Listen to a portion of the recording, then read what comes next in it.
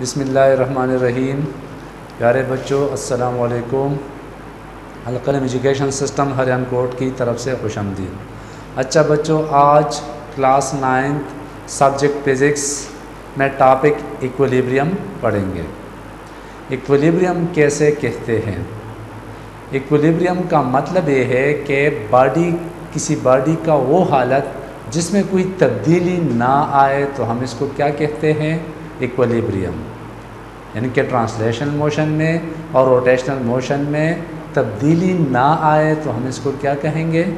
Equilibrium the state of a body in which under the action of several forces acting together there is no change in translational motion as well as rotational motion is called word equilibrium okay conditions for equilibrium condition for equilibrium equilibrium के क्या क्या conditions हैं?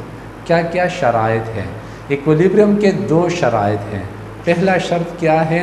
First condition of equilibrium ये कहता है कि vector sum of all forces acting on a body must be zero अगर किसी बॉडी पर फोर्सेस अप्लाई हो रहे हो, अगर हम इनको जमा करें अगर इससे रिज़ल्ट आ जाए ज़ीरो तो इसका क्या मतलब होगा कि ये first condition of equilibrium satisfy हो गया।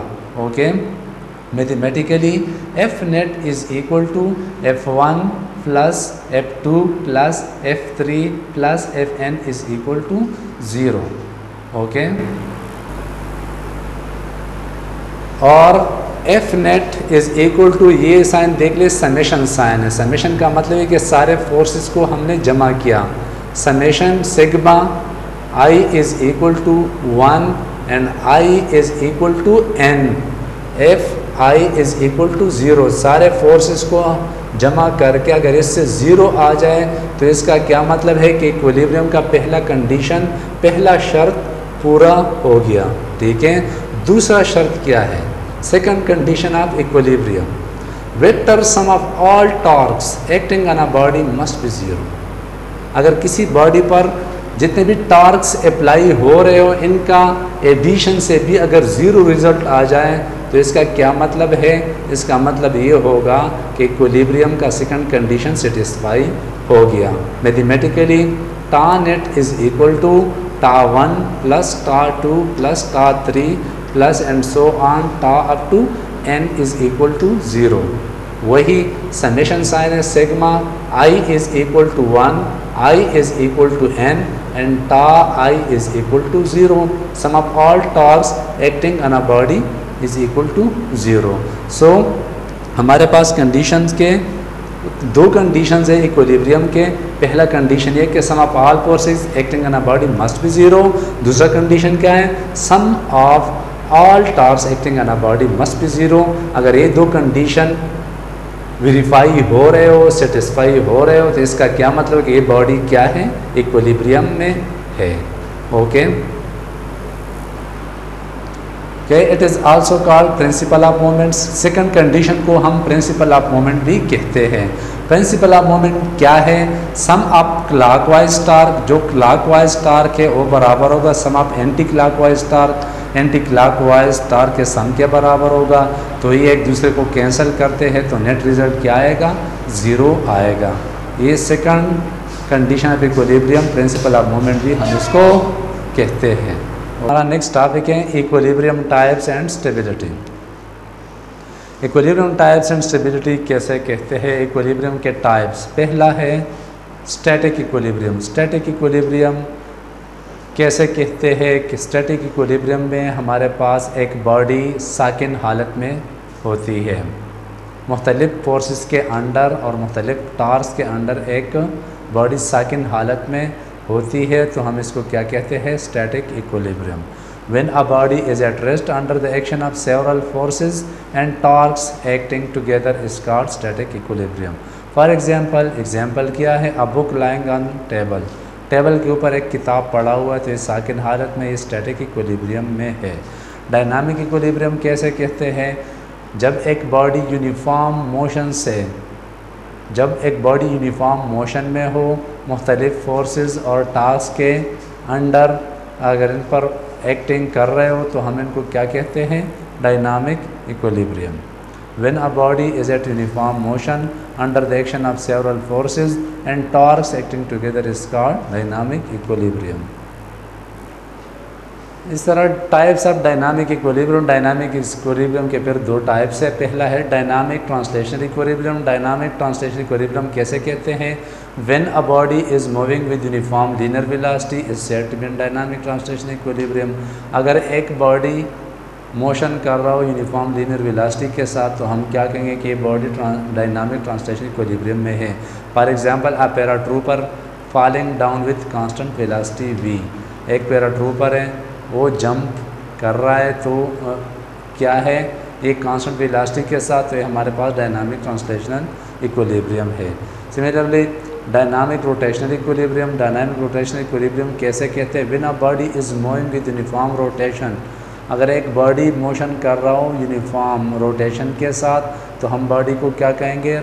Dynamic rotational equilibrium a disc एक सीडी डिस्क है rotating in CD player CD player के में ये रोटेट हो रहा है with constant velocity v constant velocity v के साथ तो हम इनको क्या कहेंगे? डायनामिक रोटेशनल इक्विलिब्रियम हमारा नेक्स्ट टॉपिक है स्टेबिलिटी स्टेबिलिटी कैसे कहते हैं? स्टेबिलिटी का डिफिनीशन ये है the ability of an object to return to its original position after removing force is called stability of that object object के, का वो सलाहियत जिसमें ऑब्जेक्ट अपने ओरिजिनल पोजीशन की तरफ़ वापस आता हो, अगर इससे फोर्स रिमूव करे तो हम इसको क्या कहेंगे? स्टेबिलिटी इसके तीन टाइप्स हैं. Number first stable equilibrium stable equilibrium अगर किसी बॉडी को हम थोड़ा सा डिस्टर्ब करें या डिस्प्लेस करें और फिर ये बॉडी अपने ओरिजिनल पोजीशन में आ जाए तो फिर हम इसको क्या कहेंगे?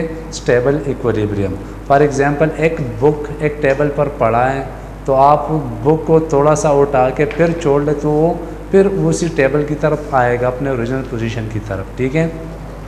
यहाँ पर इस एग्ज़ाम्पल को देख लें। ये कौन है? कौन देख ले? ये कौन को मैंने थोड़ा सा स्लाइटली डिस्टर्ब किया? ये कौन को मैंने स्लाइटली डिस्टर्ब तो ये वापस अपने ओरिजिनल पोजीशन में आएगा। ठीक है? तो और ये भी बात याद रखें। Here in this case centre of mass rises centre of mass rises का मतलब ये है कि ये सेंटर ऑफ़ मास है यहाँ पर। ठीक है? तो अगर मैं इसको स्लाइटली डिस्टर्ब करूँ डिस्प्लेस करूँ तो सेंटर ऑफ़ मास इस मास से ज़्यादा होगा, ये थोड़ा सा ऊपर होगा, ठीक है? कि अनस्टेबल इक्विलिब्रियम अनस्टेबल इक्विलिब्रियम कैसे कहते हैं?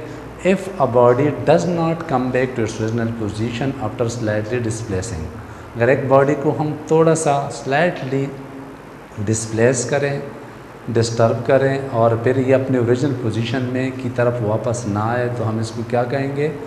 अनस्टेबल इक्विलिब्रियम फॉर एग्ज़ाम्पल ये एक कौन है, ठीक है, कौन को मैंने थोड़ा सा डिस्टर्ब किया और फिर ये अपनी वापस हालत में ना आया तो हम इसको क्या कहेंगे? अनस्टेबल इक्वलिब्रियम और अनस्टेबल इक्वलिब्रियम में ये पॉइंट है in this case centre of mass will be lower centre of mass मतलब ये कि ये हमारे पास सेंटर ऑफ़ मास है, ठीक है फिर मैंने जब इसको थोड़ा सा डिस्टर्ब किया तो ये यहाँ लोअर हो गया। ये नीचे आ गया बनस्बत, यहाँ main centre of mass okay तो ये नीचे गिर जाता है क्योंकि सेंटर ऑफ़ मास ये लोअर हो गया, नीचे गिर जाता है, ये वापस अपने हालत में नहीं आता तो हम इसको क्या कहेंगे? अनस्टेबल इक्वलिब्रियम न्यूट्रल इक्वलिब्रियम क्या है? न्यूट्रल इक्वलिब्रियम अगर हम एक बॉडी को डिस्प्लेस करें एक जगह से दूसरी जगह में और वो अपनी न्यू पोजीशन में रहे तो हम इसको न्यूट्रल इक्वलिब्रियम कहेंगे, ठीक है? Here in this case centre of mass will remain same centre of mass यहाँ पर भी वही है और यहाँ पर भी यही सेंटर ऑफ़ मास है। तो यहाँ पर सेंटर ऑफ़ मास हमारे पास चेंज नहीं होगा। अच्छा हमने थ्री टाइप्स पढ़े stable equilibrium unstable equilibrium and neutral equilibrium stable equilibrium में क्या होता है? अगर एक बॉडी को हम थोड़ा सा डिस्टर्ब करें डिस्प्लेस करें फिर वो अपनी ओरिजिनल पोजीशन में आ जाए तो स्टेबल इक्वलिब्रियम होगा। और स्टेबल इक्वलिब्रियम में सेंटर ऑफ़ मास वो ज़्यादा होगा राइज करेगा, ठीक है? अनस्टेबल इक्विलिब्रियम में क्या होगा? अनस्टेबल इक्विलिब्रियम में अगर हम एक बॉडी को थोड़ा सा डिस्टर्ब करें डिस्प्लेस करें तो ये अपने वापस, अपनी ओरिजिनल हालत में वापस नहीं आएगा। और सेंटर ऑफ़ मास लोअर होगा। न्यूट्रल इक्विलिब्रियम में एक बॉडी को डिस्प्लेस करे, एक जगह से दूसरी जगह न्यू पोजीशन में अगर वो बॉडी रहे तो हम इसको न्यूट्रल इक्विलिब्रियम कहते हैं और इसमें सेंटर ऑफ़ मास सेम रहेगा। ओके? अच्छा हमारा ये चैप्टर नंबर फोर ख़त्म हो गया। इन अगले लेक्चर में chapter number five, gravitation, universal law of gravitation से आगाज़ करेंगे।